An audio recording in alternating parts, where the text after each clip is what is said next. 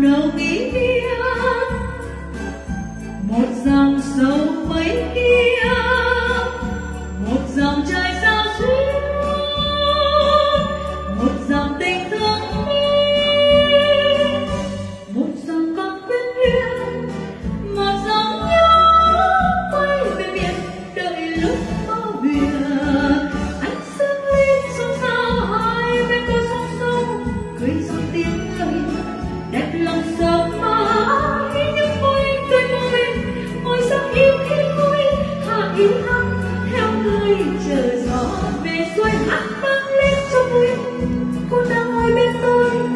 Le lapou